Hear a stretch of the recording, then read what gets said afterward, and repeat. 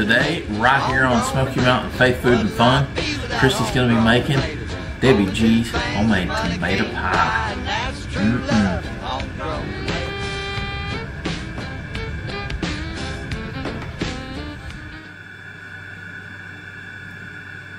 Hey everybody! Today we're going to do a southern tomato pie, specifically Debbie G's tomato pie. Now Debbie G is a good friend of mine and she's the one that taught me about tomato pie several years back. And so I've made it several times and I love it. And so today we're going to do that. Uh, we're going to start out with, it call, recipe calls for three large ripe tomatoes. We've got about four medium, so that's what we're going to do. Um, it calls for, let's see, three of the green onions. I've got some really big, beautiful green onions, so I think we're going to probably just go with one, of one and a half of these. Uh, fresh basil. You know what? I'm having a hard time finding fresh basil. So I might have to use the squeeze kind, which is all that, uh, that I can come up with, and that's going to be okay. Um, it'll work just fine. And then we're going to have a topping made out of mayonnaise, Duke's of course, uh, cheddar cheese, mozzarella cheese, and I like to add in a little bit of Italian seasoning. And then, of course, pie crust. It's a very easy pie to put together, and so we're going to go ahead and get started. I'm going to slice up my tomatoes. Now, the, we've got to slice these beautiful tomatoes and get them, get them cleaned up. So I'm going to go ahead and get that done. I got a garbage bowl here. Learned that from the infamous Rachael Ray many years ago. She always has a garbage bowl. I love that.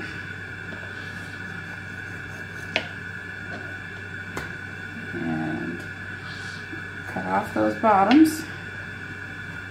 And then this is a Rada tomato knife. My mom used these for years and now I use them. They are truly the best knife for cutting a tomato. It just gets right in there and gets what you got. So we're going to get the cores out. Now, you want nice thick slices of tomato for this pie. So we're going to try and cut them as uniform as possible. And I like the fact that these four tomatoes are about the same size. Now we're not quite at tomato season, but I wanted to get, get this video out there before tomato season comes. We've got a uh, beautiful farmer's market and orchard up in Cosby, Tennessee called Carver's, and they've always got nice ripe tomatoes. I think they said these are actually from Florida, so um, I'm just happy to have found some ripe tomatoes. But if you if you grow your own tomatoes and that time is coming up here soon, you definitely want to try tomato pie. I thought initially when I first heard of a tomato pie, I thought that just doesn't sound good at all. I'm not sure about that. That I don't I don't know how I feel about that. So I saw her post, Debbie post on her Facebook page several different times when she made a tomato pie and I finally said, you know what? I'm to do this. So the last few years, at least one tomato pie makes its way into our kitchen about, you know, during tomato season. So I'm cutting those pretty uniform. And we're going to throw them in a strainer until I get them finished.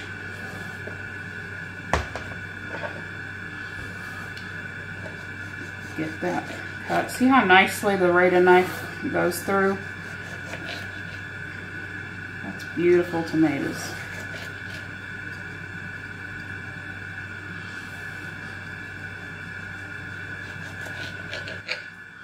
Pretty pretty. All right. That's more than enough, I think, to fill a nice size pie.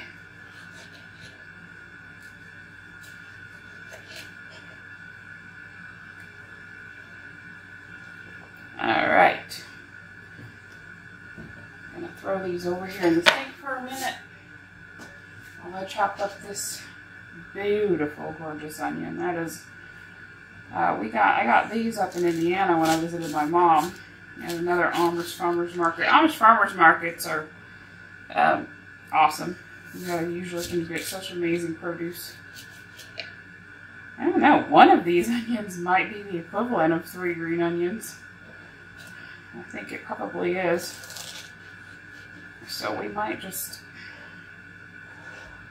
stop at one. Let's see what it looks like once we get done here.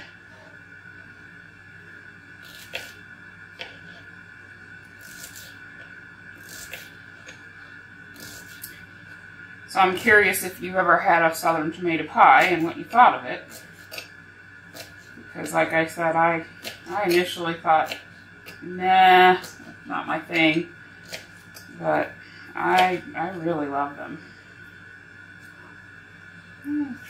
Just a little bit finer. They're such big, beautiful onions. I love it when it's Vidalia onions even. I bet a Vidalia onion work in this too.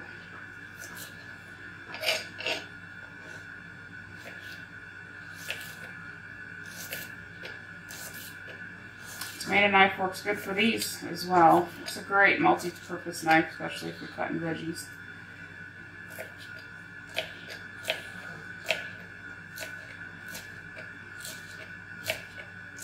Beautiful.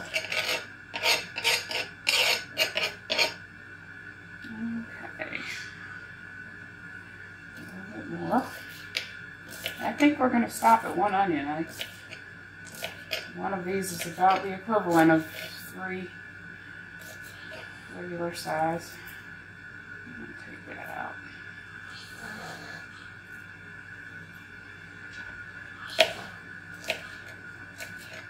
Hear some snoring coming on from the peanut gallery over there. You might find that around these parts. It's earlier in the morning. I like to try to get video done early. So he's loud. I'm sure he isn't the first husband to snore through their wife's YouTube video. Alright, onions look good. I'm just gonna throw my knife a little bit through those finer cut that. Okay. So what we need to do now, and I'm gonna set these aside, is we are going to take our tomatoes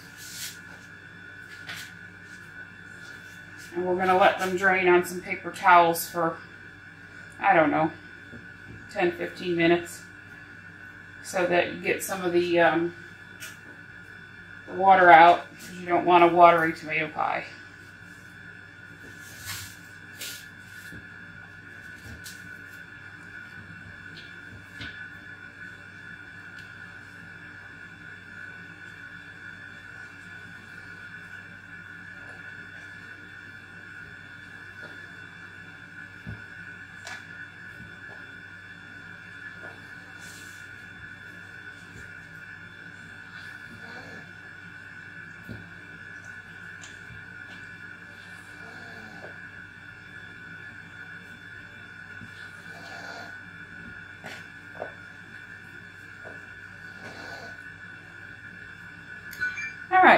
Once we get these draining, um, we're going to come back and we're going to make the topping that goes on top of the tomatoes and the basil and the onions. So we'll be right back.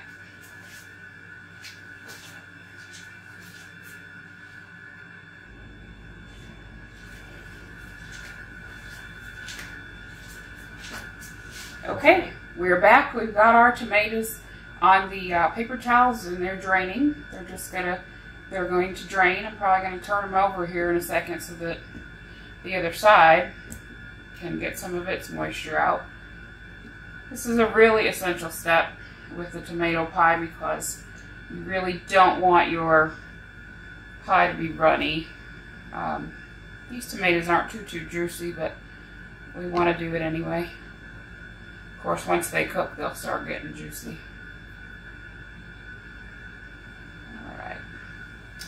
All right, so for our topping, and this literally is going to go right on top of the pie, we've got one cup of mayonnaise.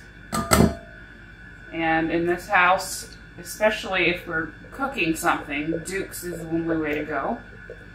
I have a weird thing about mayo. I actually am. There's three different kinds of mayo that I will use. Duke's, I use Duke's when I'm making a salad or uh, cooking something like a tomato pie or an ingredient uh, like casserole, whatever. Hellmann's is what I like for sandwiches.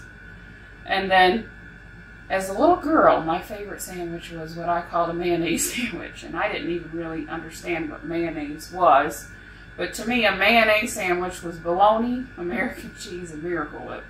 So I do have a little Miracle Whip on hand for those times that I want my mayonnaise sandwich.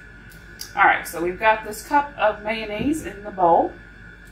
And it says to add one cup of mozzarella cheese and one cup of um, sharp cheddar. So that's what I've got in this container. I kind of mixed them up beforehand to save a little bit of time on everybody's part.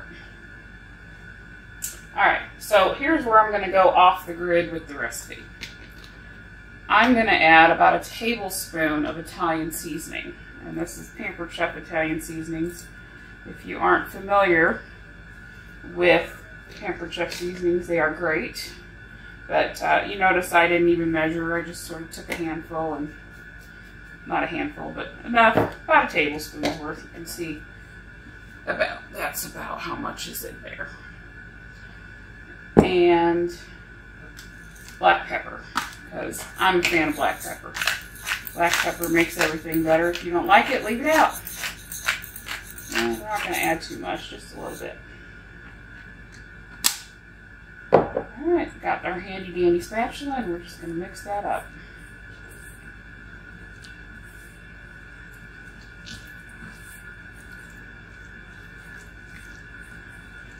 I hope I can do Debbie G's pie justice. Because I know she's probably going to watch. Hey, Deb.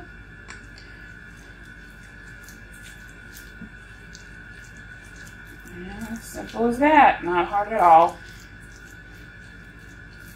I'm doing a lot of pies. All right, guys.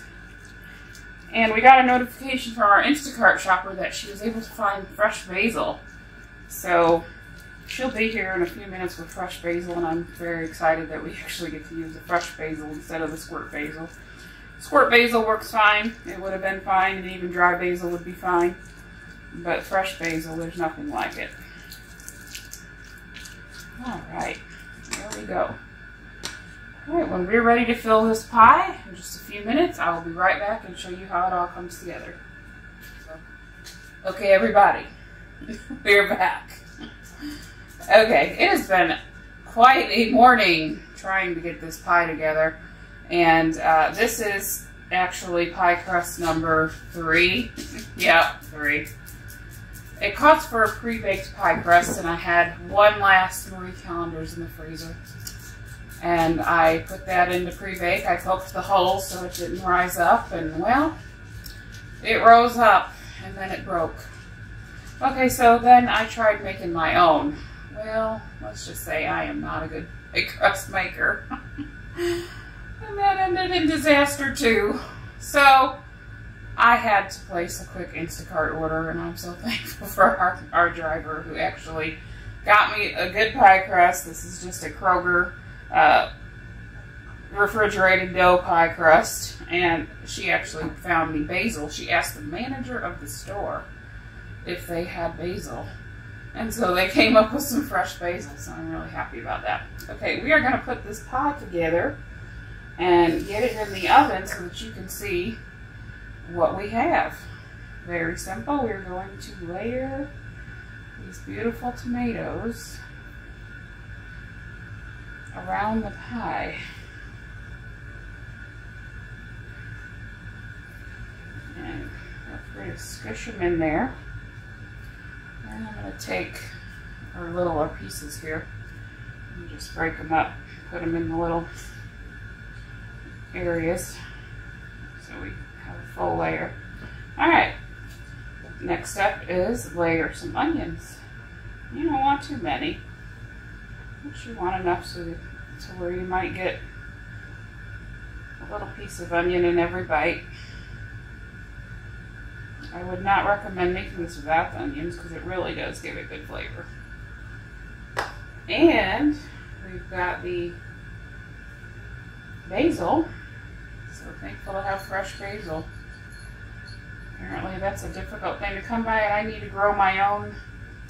Uh, and I, we were growing in one of the Aero uh, hydroponic gardens, but our parsley kind of overtook everything, so we need to actually try that again and replant. Alright, so then it just called, I'm going to go ahead and sprinkle just a little more Italian seasoning. I think it just adds a little oomph. Some salt. I use Himalayan sea salt, so a little of that really does go a long way. And pepper.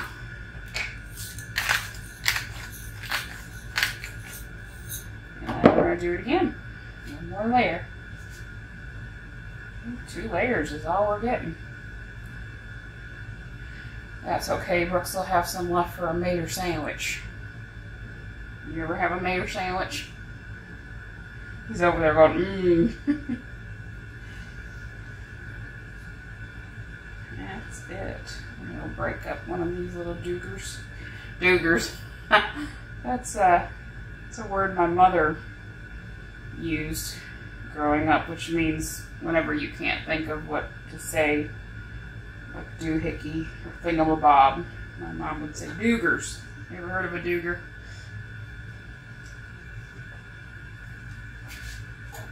And more onions. Oh my gosh, this is gonna be so good, I know it. Tomato pie season. For something that I just couldn't wrap my head around.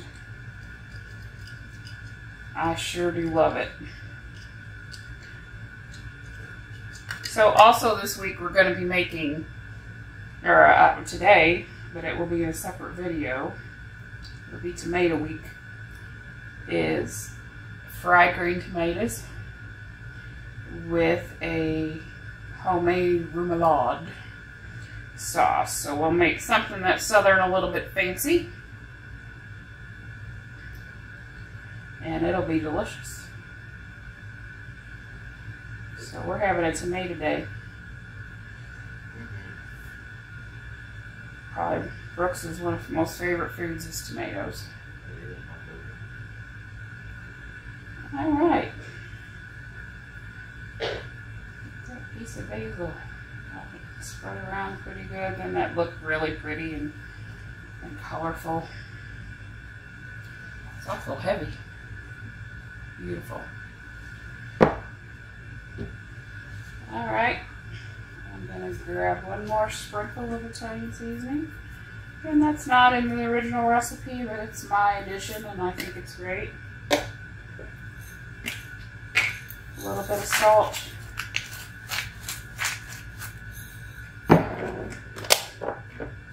Pepper. What'd you say? Layers of flavor. Layers of flavor. Layers of flavor.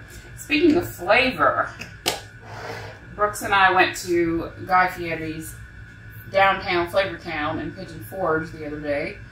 And if you've been to the Smokies recently, you know that is like one of the hottest tickets in town, so to speak. It's very, very cool and the food is amazing. So we did a full review of that if you want to check it out in another video.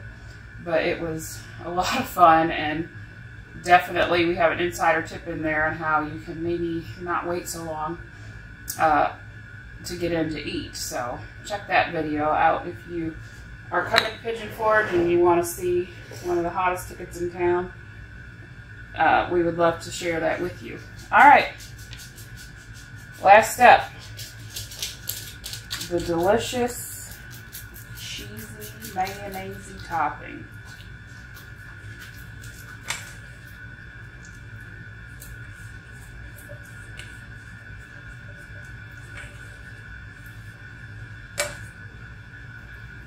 So basically what you're going to do with this is you're going to carefully smooth it out across the top.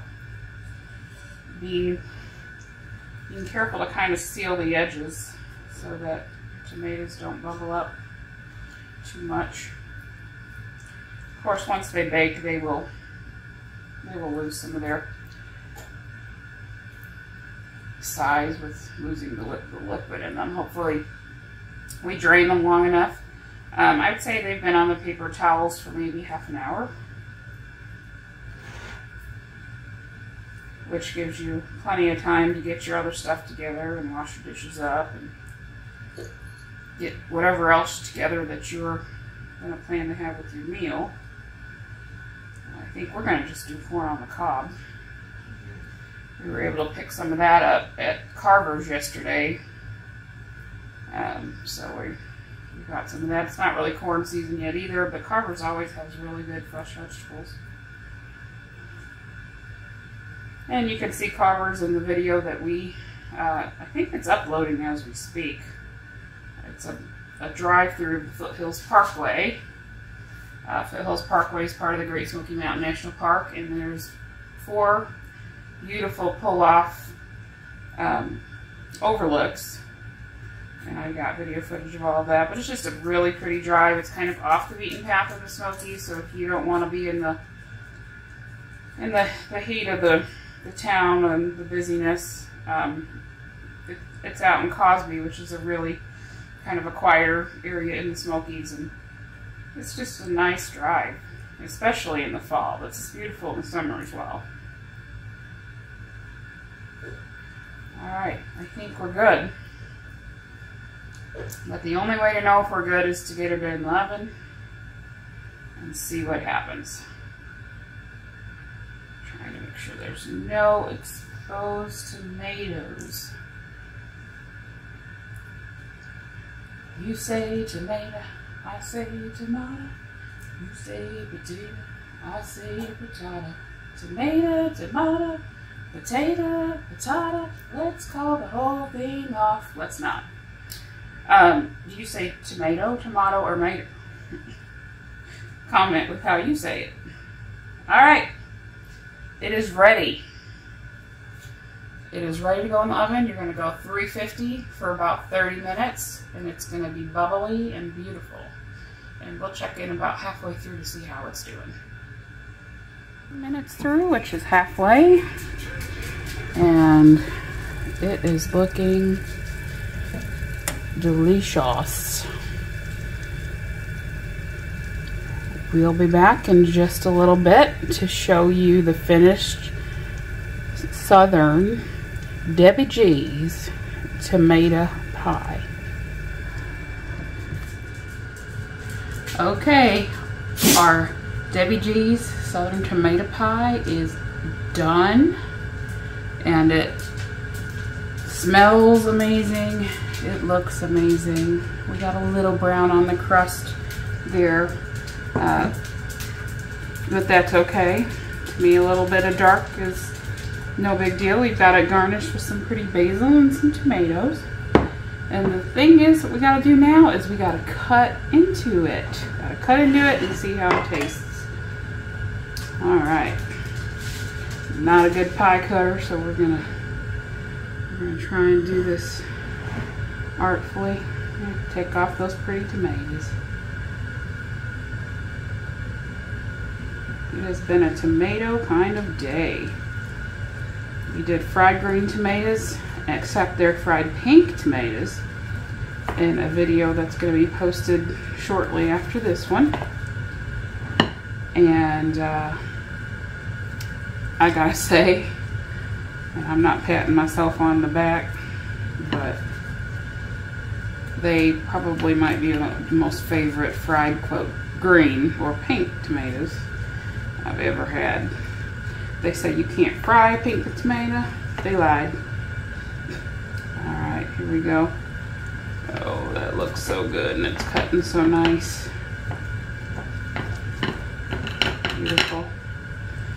Feels just right.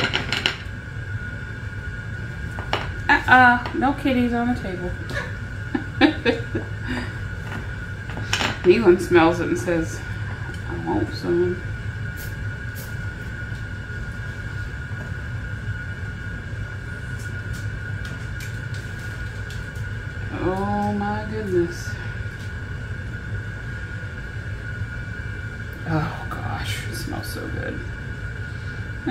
First piece is never pretty. We'll have to find a pretty piece for the picture, but that's okay. It's really how it tastes that matters the most in this house.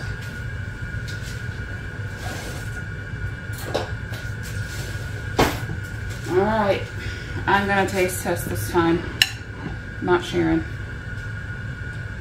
Brooks is looking at me like, what do you mean you ain't Sharon? Take a look at that. That looks so yummy.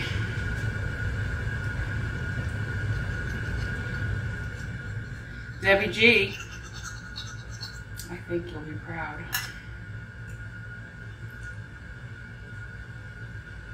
Oh. That's perfect. I'm not kidding. The layers of the tomato, basil, onion, and then all that cheese are just perfect. Mm.